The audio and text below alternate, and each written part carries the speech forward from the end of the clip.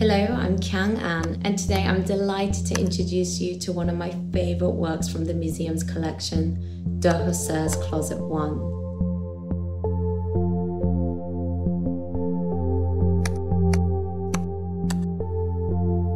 De Husser is a South Korean artist who's perhaps most celebrated for his large scale installations that are architectural shells of his past homes from Seoul, New York, London, and Berlin.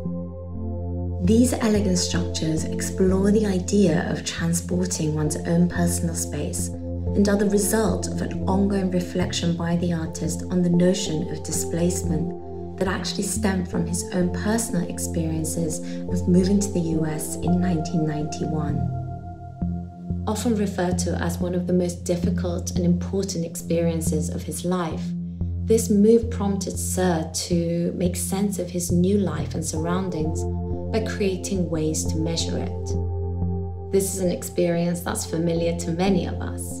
In my case, um, I was born in South Korea and then I moved to London when I was very young, and now I live in New York. And I remember when I first saw Suh's work, just standing underneath one of those beautiful ethereal structures I was struck by the artist's ability to capture this universal experience and feeling through art.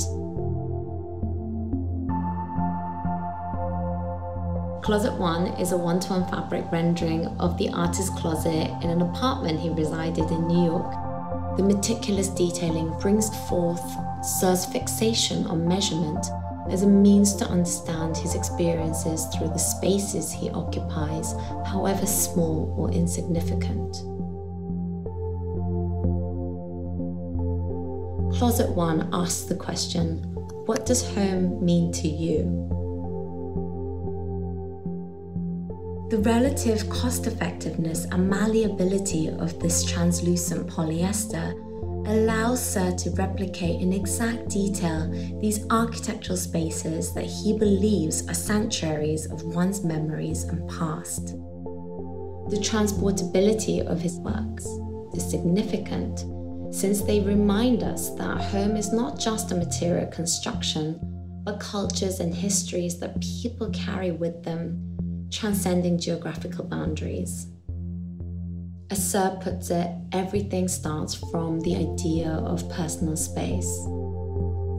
And Closet One is a physical embodiment of this intimate, private space.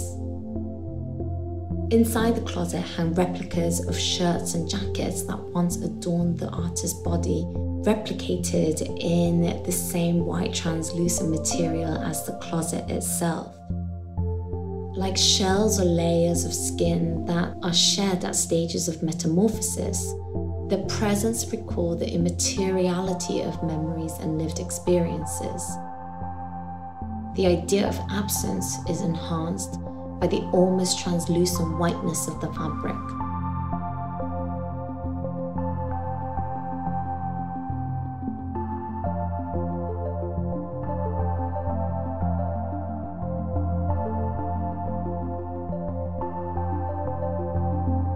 This is one of my favorite quotes by Husser. And for me, Closet One is a powerful reminder that as we live through life, the spaces we occupy are never left behind, but are carried with and within us wherever we go.